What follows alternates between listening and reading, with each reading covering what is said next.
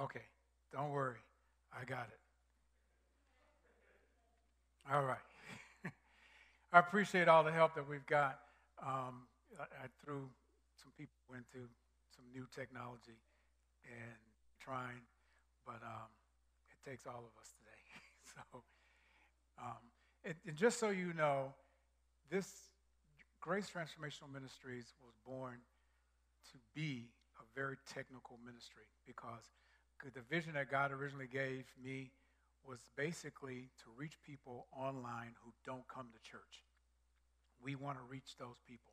And so our whole infrastructure is based on that. And that's the help that we actually need. So when something doesn't work right, then we're not actually we're doing not doing what we were actually designed to do. We always need you to help us to do that, and that's really our goal. So um, I'll have some places for you to sign up before we leave. but today, our message is a new series that I'm starting. It's, it's the series, the name of the series is By Design.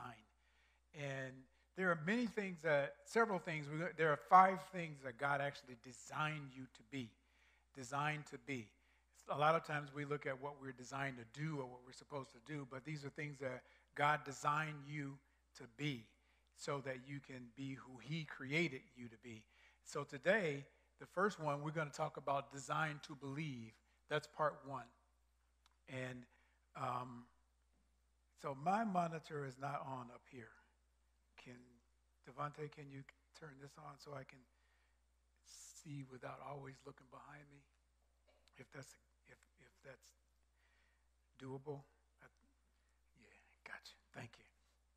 But um, we're also going to talk about part two is you're designed to belong. You're designed to belong to a family. You're designed to belong to uh, a group of people, community. God designed us to fellowship. Thank you. God designed us to fellowship. He also designed us to blossom. He designed, if you notice, I tried to do everything with a B, but it didn't work out that way. Designed to believe, designed to belong, designed to blossom. Really, that's about growing. I tried to find a B. I even used the, everything. Then um, the other one, he designed you for service. So I said, be of service. so he designed us, you to be of service. And he also designed you to contribute, to give back, um, whether that's your community, your family, your church, your, your work life. But you are designed that way. You want to do that. Even if you didn't know God, you didn't know anything, you as a human being are designed to do that. So today we're going to just talk about being uh, a design to believe. God has designed you to believe. Even agnostics, atheists, they are designed to believe. God wants you to believe, whether you're a believer, whether you're a Christian, as I said, whether you are uh, an atheist or anywhere in between on that spectrum, we all wonder. Even if you're a Christian, things you wonder about. Even if you've been, you know, um, I became a Christian, I was born. I was born as a baby. My family, my mom, her dad, my my grandfather was he was he really he was my um, father. He was the father of the gospel to me. He was the person who turned my life around when I when I left Mississippi and went to Chicago. I see I have some family members here today, so you might hear some things that you possibly never heard before. Um, but when, when I moved away, I turned away from God and ran away as hard as I could in Chicago. Um, Chicago, well, I guess I shouldn't just say that. I was going to say it's no place for children. But uh, it was not a place for me. I got into so much trouble. And wow, my eight year old granddaughter is listening to this. I got into so, Charlie, I did. I got into so much trouble when I was in Chicago. Um, I joined a street gang, um, got into all kinds of stuff. Police, chased by the police, outran the police. You wouldn't believe. We lived in Chicago on Washington Boulevard, 4852. If anybody want to check it out. That was the second house from the corner, but all of the houses had these flat roofs for the whole block. We would get into trouble. Police would chase us we go, one of our buddies, you could go up on his, on his back porch and get up on the roof. We get up on the roof and, and run the whole block, jumping from one house to the next house, come down somewhere else, and the police wouldn't know where we were. And so don't ever try that. And the first time I tried that, I was scared out of my mind, but I was scared not to follow. And so you, I felt pressured. But you know, when when when God designed you to believe, even if you didn't have the background that I had, so I got so far out there. And mind you, I was only ten. I was only ten exposed to way more than I ever should have been exposed to, doing way more than I ever should have done. Uh, I mean, they taught me how to steal because I wouldn't steal. They, we, as a group, we go to a store, and and I just couldn't do it. So they they made me the we made me the lookout guy. For, you know, I'd stay on the bike. They go and steal some stuff, jump on the bike, and then I take off we ride. But they eventually taught me just go in with your coat on, and they put stuff in my pocket, you know, and then I just walk out. But so they were just training me to get further and further and further away. And it got so bad that there's so many stories I could tell you, but we don't have time today or tomorrow. and, but um, I decided at the age of 10 that I could not sustain that lifestyle. I hid all of that from my siblings. I hid all of that from my parents. And one day, standing in my living room, which there were about 19 people lived in this three-bedroom apartment. That was two families. My dad, his eight kids, and his brother, and his six kids, seven kids, and my all, all of the parents and my great grandmother. So that's how many people lived three bedroom, three bedroom. And every bedroom probably had three beds in it. but uh, standing in that living room, I remember standing there that day praying as a 10 year old. Because at this point, I had gotten out of the gang. I was too afraid to do what they were doing. Um, I almost been killed. Just, I didn't want no more parts of it. But now the gang don't just let you walk away. And so now I can't even leave home because they're after me. My mom would try to send me to the store. Everywhere I went, I ran as fast as I could. And people probably didn't want to know what was going on with that guy. He's always running. And I just ran everywhere. but that day, standing in the living room, I said, God, I just need you to help me. I said, if you can help me get back to Mississippi, and live with my granddaddy, I will be all right. And that's what turned my life around. After school that year, when my parents went down to visit, I begged them to let me stay. And that's how I ended up living with my grandfather, turning my whole life around. I sitting on the front pew one day because I still, you know, I, was, I still had some of that old stuff in me when I first moved down there. Sitting on the front pew one day, and he was preaching out of Joshua 15 24. And he said, Choose ye this day whom ye will serve. But for me and my house, what, who knows the scripture? We go serve the Lord. And that convicted me sitting on the front. I was like, wow, so if I'm going to live in granddaddy's house, I got to get right. And that's, I made that choice that day and never walked back, never turned back. And, and so that was my step of believing. But everyone didn't have that kind of background to go back to. There are so many people, so many parents, so many grandparents. No one, everyone don't have that kind of heritage that they can lean back on. And that's one reason why I enjoyed doing the, the baby dedication today. We need to create new heritage for new babies where their grandbaby, where their grandparents know Jesus. their grandparents know how to pray. You know, someone wrote a song talking about I had a praying grandmother. If it wasn't for my praying grandmother, and Thomasine know what I'm talking about. You get, you should hear some of her grandmother stories. And so, um, I have a question for you today to get right into this. And my question is this as it relates to your faith and your trust in God, and have you ever gone through a season of doubt or just wondered, where is God when you're in any specific situation or specific area of your life? How many of you ever been there? Just, yeah, all of us, right? We got a few people who just as good as Jesus, but anyway. So, just kidding. The next question is this. If the answer is true, and most of you raise your hand, what did you doubt about God? Was it, was it, what was it about God that you doubted? Can you remember that? Or what did you doubt about yourself? Uh, or the timing, or the, whatever you expected the answer to be? What was it that you doubted? I want to show you in Scripture where, from the beginning, God designed us to believe. He designed us to just trust Him. He designed us to, um, you see, you've heard the creation story um, where God created everything, created the heavens and the earth and the light and the, you know, the planets and all of this. And so I want to start where he actually began to make man. And he said, let us make man. And so here's the scripture, uh, Genesis, the first chapter, 26th verse. If you'd like to turn there, uh, feel free to do that, but we, I'll put the scripture on the screen for you. It says, Then God said, Let us make man.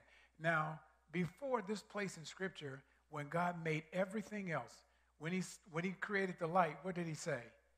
Let there be light.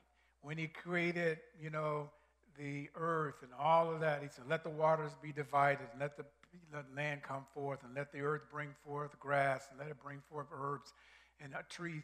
It was always impersonal. Let it be. But here we have, he begins to make man, and he said, What? Let us make human beings in our image to be like us. See, the us here is the Godhead. God is creating man, and God is a spiritual being. So you are a spiritual being.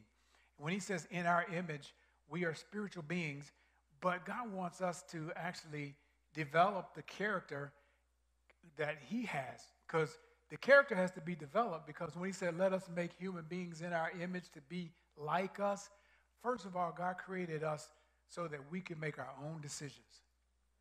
You can decide, you can, isn't that amazing? You can decide to reject the God that created you. He created you so you have that choice. And many people are exercising. so, but that's the choice. That's the part of being a free moral agent. And so when he says, let us make human beings in our image to like us, that means so that they can become like us, the same character that we have, the love that we have, that we actually have between each other, that they can develop that and become like us. But it's going to take some time for them to do that, even before Adam sinned. But this is still laying out everything here where he makes this particular choice.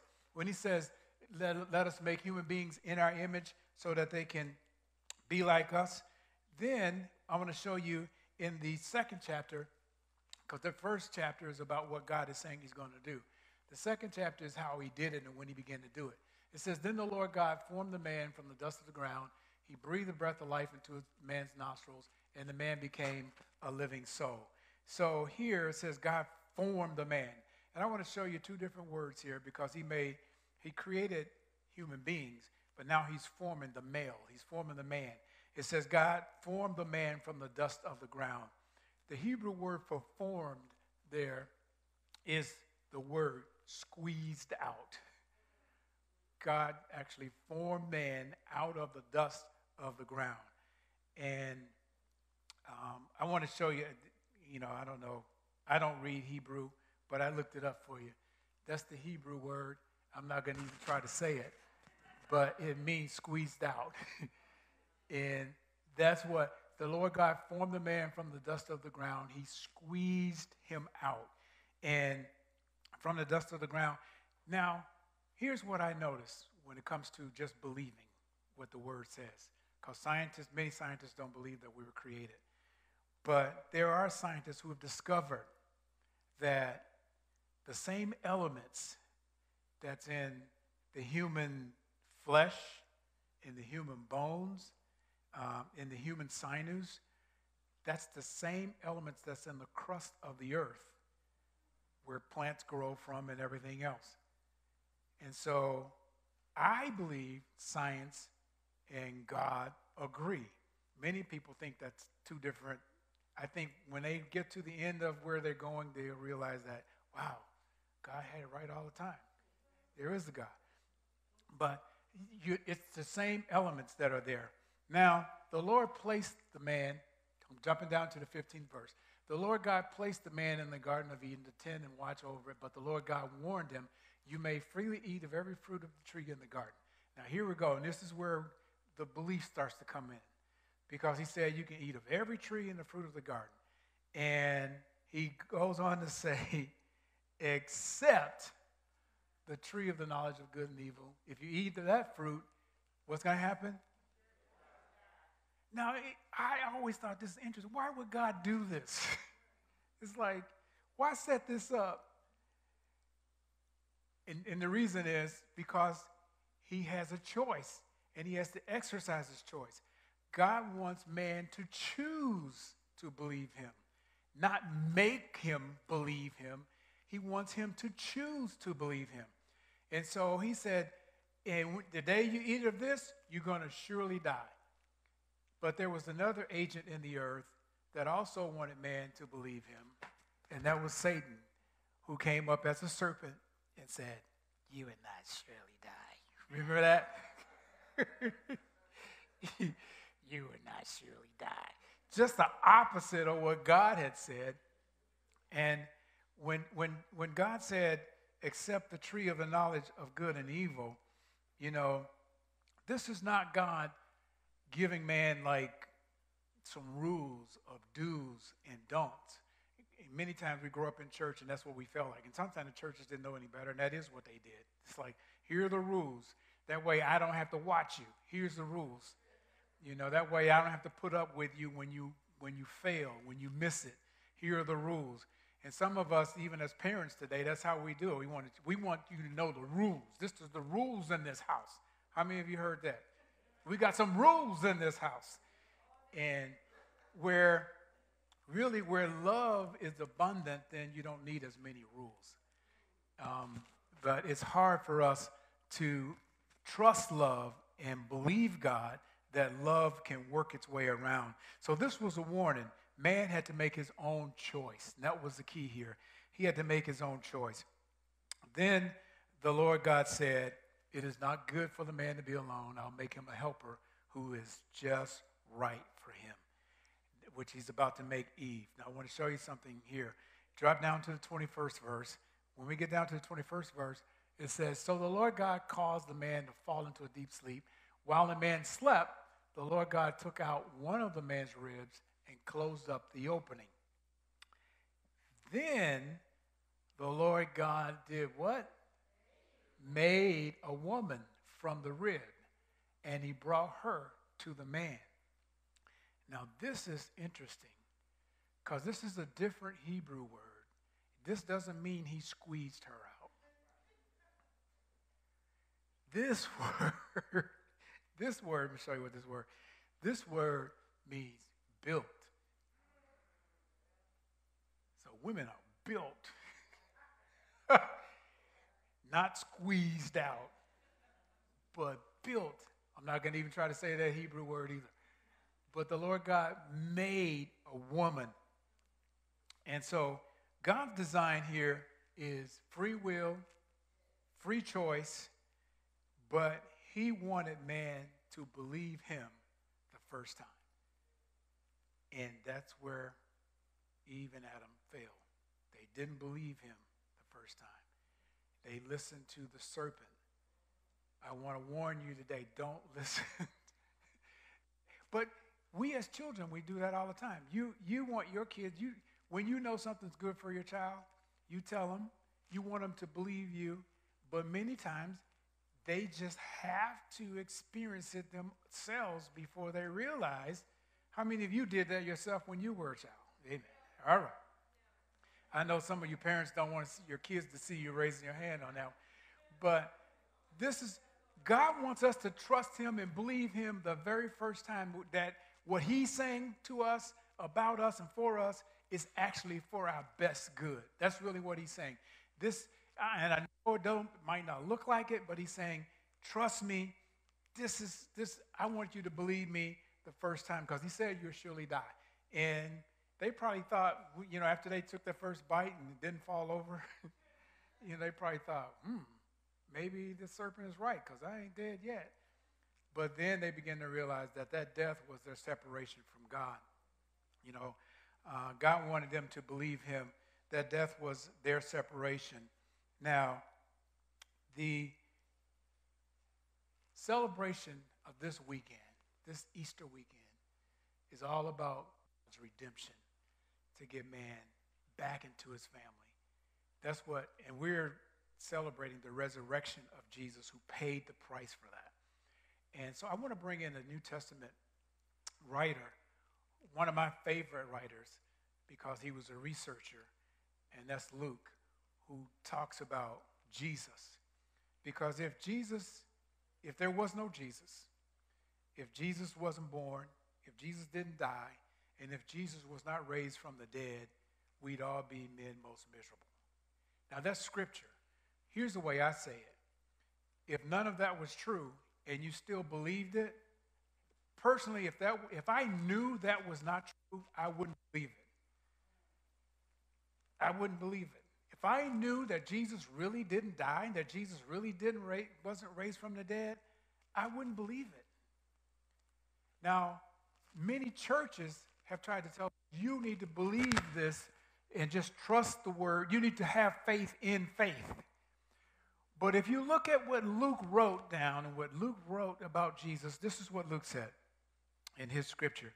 In, the first chapter of Luke, this is the NIV. He says, Many have undertaken to draw up an account of the things that I have been fulfilled, that have been fulfilled among us. Now, the first thing Luke is saying is that a lot of writers have tried to capture these things that we're talking about.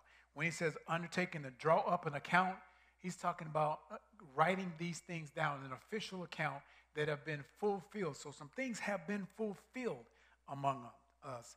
Then he goes on to say, many have undertaken to draw up this account, and he says, just as they were handed down to us by those who from the first were eyewitnesses and servants of the word. Now, many times when we hear the word, well, let me just tell you, when, he, when Luke is talking about the word here, he's talking about Jesus. He's equating Jesus to the word, which we know in John, John always equated Jesus with the word. He said, in the beginning was the word. And but Luke is equating Jesus with the word. So he says, just as they were handed down, he's saying these things that have been written. So Luke was not one of the disciples. He was not one of the 12 disciples. He was a writer. He was someone who afterwards started collecting data. And he said, I went to eyewitnesses, people who were around, who were with Jesus, and who were there at the beginning. And so he's saying, so they handed down this stuff to us uh, from the first, were eyewitnesses and servants of the same. And then he goes on to say, with this in mind, since I myself have carefully investigated everything from the beginning, that, that sounds like someone who wants some facts. That sounds like someone who wants some data. That sounds like someone who's digging for the truth. Not just, you know, th- you know, there was all kind of superstitious stuff going on at this time. And so he was like, away with all the superstition. This has, I, I got to find the truth. He said, so I too decided to write an orderly account. In other words, I decided to write an official account where I know I did the investigation for you, O most Theophilus. Theophilus was a converted, basically a diplomat, but he believed in Jesus, was beginning to believe in Jesus. And so Luke is saying, based on what you have been taught, he said, let me just show you what he said. He said, so that you may know the certainty of the things that you have been taught. So he's saying, I did this for you. Luke didn't even write this. Luke didn't even to be in the Bible. Luke never knew this would make it into a book called the Bible.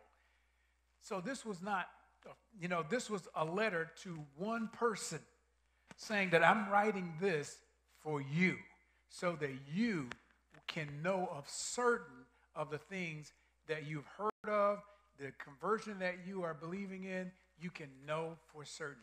And I'm saying to you today, you need to know for certain that Jesus died for you, that he rose from the dead, and you make decisions based on that. Not just, see, I realized that my first year in college. I got to the point where I was starting to take some classes, and I realized one day that everything I believed was because my mama believed it and because her daddy believed it. I said, so, and I, it was a tough time for me. Never turned back, but going through that phase, I remember working at Meijer Thrifty Acres that, at that time. And emotionally, it, I was a wreck because I was cashier at Meijer, and there'd be times I'd be thinking about this, and tears would start to flow. And you know, I don't know if any of you ever worked at a grocery store, especially in the wintertime. Nobody wants to go outside and get carts. You know, everybody wants to stay inside. And Meijer wasn't like Meijer is today, open 24 hours. Whatever the time we were there, I forgot what the hours were. But there were times when nobody was in the store. And so I was going through so much emotional stuff that I, I always went out to get carts because I was an emotional wreck going through that.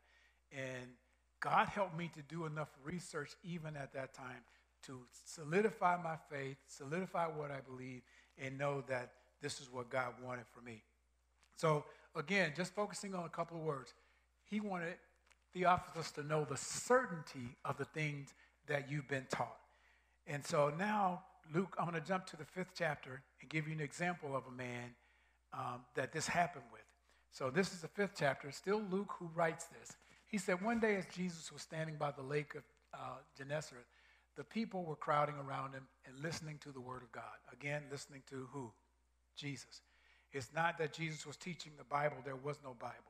They were listening to Jesus teach. The Bible wasn't written until a couple hundred years after Jesus had been raised from the dead. So, as far as pulling all the books together, the New Testament books and the Old Testament books, so there really was no Bible. But Jesus was teaching. And as he was teaching, it says the people were crowding around him and listening to the word of God because they had never heard anybody teach like this before.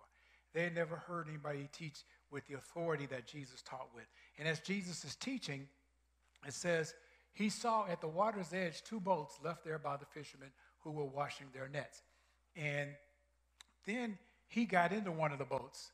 He got into one of the boats, the one belonging to Simon, which is Peter, and asked him to put out a little from shore. Then he sat down and taught the people from the boat. So if you could imagine this, they're in a lake, there's the boats. Actually, these guys have been fishing all night long. This was the next morning, and these boats are here, and they're out cleaning their nets. And Peter's there, there, and Jesus walks down, and he gets into Peter's boat, and they're they're done fishing because you fish at night. And he, Jesus gets in the boat and says, I'll push out for a way. And so Peter does this. Now, this wasn't Peter's first encounter with Jesus. Remember, who, who recruited Peter? Who knows? Andrew, right? His brother. Andrew was one of the first disciples of Jesus who had been a disciple of John. And when Andrew started following Jesus, he went and got Peter, his brother. And so when Peter came to Jesus, then the first thing Jesus did when he came, when Peter came to him, is said, "I'm going to your house." Now that's different for us. We we grew up thinking that religious people don't want to go to a non-religious person's house. Jesus said, "I'm going to your house." So he went to his house. Remember it. Some of you remember this story. Peter's mother-in-law was sick. Jesus, while they're there, he prays for a mother-in-law. She's healed. So Peter experiences all this, and because she was healed, and this was a Sabbath, which means that you don't really do stuff until after sundown. After sundown, they went got everybody sick in the community and brought them back to Peter's mother in law's house. And so they could be healed. And it, scripture says he healed them all. So Peter had experienced Jesus healing all of them. So now he goes out and these guys are fishing. And they fish all night long and now they're done. And Jesus said, push out for a way, so basically, so he can teach the people. He taught the people. And so now, the next thing says, when he had finished speaking, he said to Simon, put out into the deep water and let down the nets for a catch. So now, Jesus is asking Peter to do something that Peter is the expert at. Peter's the, he's the one that's been doing this all his life. He's a fisherman. he knows how to fish. So Jesus says, put out and let down your net for a catch. Not just to go fishing, but for a what? For a catch. So Simon answered and said, Master, we've worked hard all night and haven't caught anything. Can you imagine that? They had worked all night, hadn't caught anything. He said, But because you say so, I'll let down the nets. This is the key right here when he said, Because you say so. It wasn't just he had to believe from not knowing anything. Peter had some experience. He, you healed my mother in law, you healed everybody we brought to the house that night. So I know you can, whatever God is doing through you, people can be healed. But I don't know what you're about to do now. But I know we are fishermen. We've been fishing all night long. And plus, now it's daytime when you don't fish. We fish when you're supposed to be fishing, and we didn't catch anything. Now you're telling me to go out here in the middle of the lake, in the middle of the day, when we know fish aren't biting, and you want me to go out and you say for a catch. But he says, because you say so, I will let down the nets. Many of you are in that place in your life where you need to just back up and stop and say, oh, okay. Because you say so, think about all the other things that you've gone through that God has made a difference. And just like Peter, he could think, you know, you heal my mother in law, you heal all these other people. I don't know what you're about to do now, although this is my area. How many of you feel like this is my area? I know what I'm doing here. Jesus, you go preach. I'm catching fish. I know what I'm doing. He said, Because you say so, I will let down the nets. Now, Peter had to believe in order to do. And that's why we're talking about believing, because you don't just do.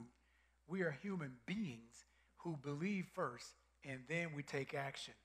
Because the next scripture actually says, when they had what? That means let down the nets. Not think about it, not believe and talk about it, not discuss, you know, and say all the reasons. Because some of us, we're geared to find all the reasons why this won't work.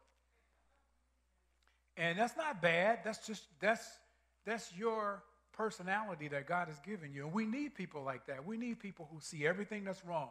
That's what sticks out and they can easily say it. As soon as you say something that you're all excited about, they say, hey, but that, what about this right here? And you never thought about that. And that's why God put them in your life, so that you'll think about that. It's not so you can have a big argument, it's just so you can think about it. And now, what ends up happening is when you put all that together, what you end up with is what you probably should have been doing in the first place. And so, when Jesus, after they had done so, they, they said, okay, we're the professionals, but you've done some other stuff. Um, and we know that wasn't just, you know, uh, magic because these people were healed. Peter's mother in law was healed.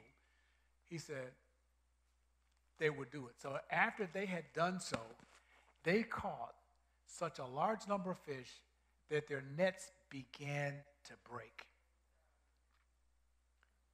They had never seen anything like this before. So what did they do? They signaled their partners, James and John and all the rest of them, in the other boat to come and help them. And they came and filled both boats so full that they, both boats, began to sink. Sounds like Jesus knew what he was doing. But look at Peter's response. When Peter, when Simon Peter saw this, he fell at Jesus' knees and said, Go away from me, Lord. I am a sinful man. That's powerful right there. Because if you notice in the previous verse, when Jesus asked him to go out for a catch, he said, Master. So he recognized him as Master. He said, Master, we've been fishing all night long and we didn't catch anything. But then he says, But because you know you said so, we'll do it. Now, after he sees this, he says, he calls him Lord. He has gone from master to Lord. You, you're not, oh, you, not, you can do more than just heal people. You control nature. You, you know, you, you fill two boats. We've never had two boats full of fish before after fishing all night and never catching anything. He said, So just go away from me. And many times we feel the same way when we're in the presence and feel like there's where, you know, where God is or where He could be. We feel like we're so bad that God wouldn't want us around. And Jesus was just the opposite. And that's the way we have to learn to be too.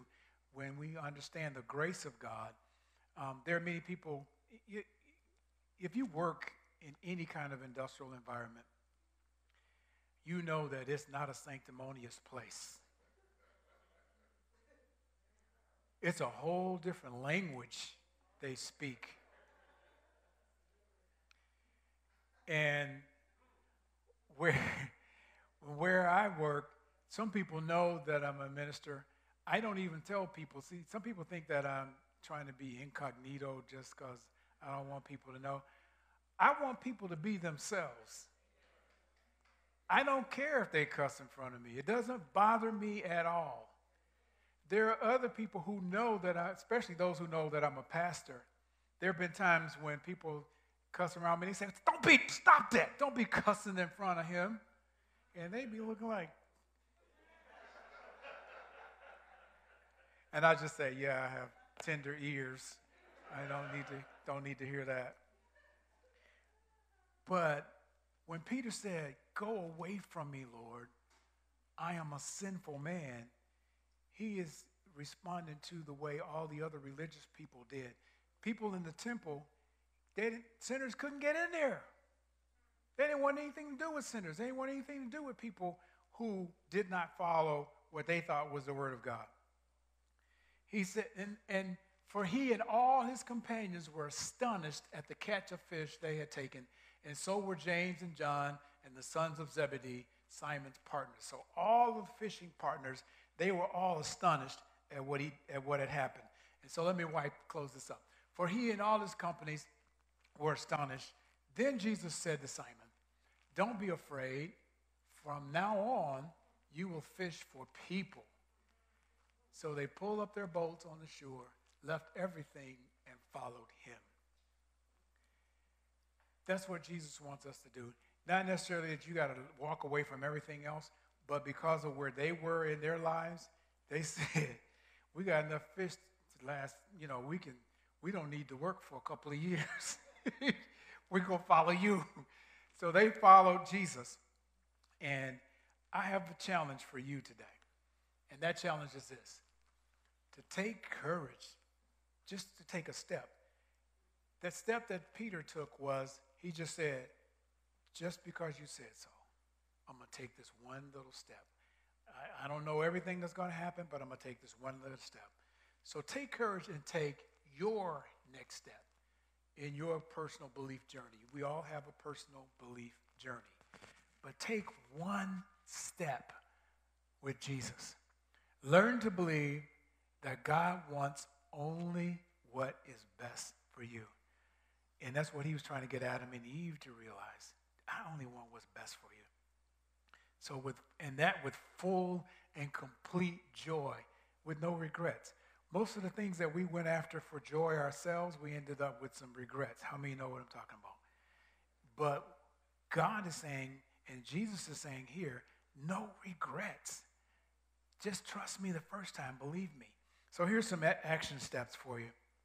And the challenge and action steps we actually have, if you would like to take a, a, hard copy with you, we have to print it out so um, you can take this with you. Our goal is that you do this, that you implement this, that you not just hear a word today and say, wow, that was pretty good. I like that. That was kind of fresh, new, And we want it to be relevant, but we want you to take it with you so that you can actually implement it in your daily life.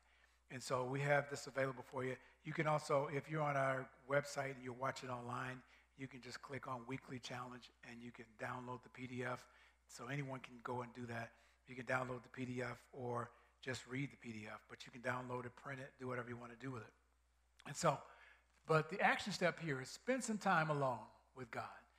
And that's a big part of our problem. We are so busy that there's never a time when there's not some noise or something going on. When God's been God's been whispering all the time, but you can't hear him. I can't hear him. He's talking, but he, we can't hear him. Spend some time, even if it's five minutes. Anybody got five minutes? Just five minutes. Just say, I'm going to give God these five minutes. Spend some time alone with God each day for the next week and ask Him to reveal your next step.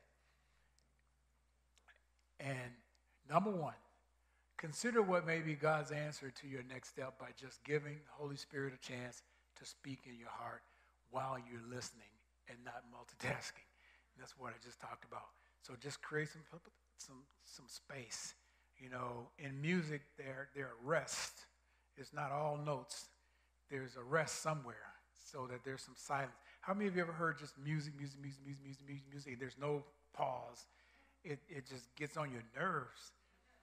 And so there needs to be a rest. You need to stop and listen. And so create a space, even if it's just five minutes, where they give God a, a part, a piece of your time. And then this is a good idea right here. Put on a worship song and just sing along or just listen to the music, allowing your mind to rest. Then, after the song is done, ask the Holy Spirit to reveal to you your next step. It's just some quiet time, get some music and music, and we're going to teach on this one day. But God created music for to do certain things to create certain environments. And it does that whether it's at church or whether it's in your bedroom or whether it's wherever you are. Music works. God created it. That's why that's that's why Satan had such a hard time because he was the choir leader in heaven and he decided he wanted to be God instead of just the choir music leader. And Jesus said, I saw Satan fall like lightning So while listening, write down whatever thoughts come to your mind. This is really how you start to learn how to hear the Holy Spirit because you, you, he doesn't, you not, some people say they heard God say, but, and if they actually heard a voice, they run. But get in that environment, open your heart, and then just pay attention to the thoughts that come to your mind or come across your mind and write them down. While listening, write down whatever thoughts come to your mind. Don't worry about what it is. Just write down the thoughts that come to your mind at that time. Then find some scripture, even if you have to help, have somebody help you. Find some scripture that support what you heard in your thoughts. And when you find the scripture, which is God's word, allow it to begin to speak to you. Allow that scripture to begin to speak to you. And then the third thing, which is the last step, all belief is energy because belief is energy. All belief is energy. So release your energy in agreement with what God has already said. And be like Peter and just trust him and do the next step. Like Peter said, you know, because you said so. Just do what Peter said believe and do. Because it, the scripture says, after they had done so. So you won't get the results until when? After you have done so. So I would like to invite you today to take a step. And that step, we there are multiple steps here. Uh, first of all, I want to pray for you eh, for wherever you are right now. I want you to bow your heads, and then I'm going to give you an opportunity to take a step. Father, we thank you for this word today. Thank you for what you're doing in our lives. Thank you for what you've already done. Thank you for this word that even Luke penned. And we thank you for the grace that you give us today to make decisions, to have choices. And I pray, Father, that you would give each person the courage to make a choice to take the next step, whatever that step is for them. And we ask that you would bless them for it, give them the courage to do it. In Jesus' name,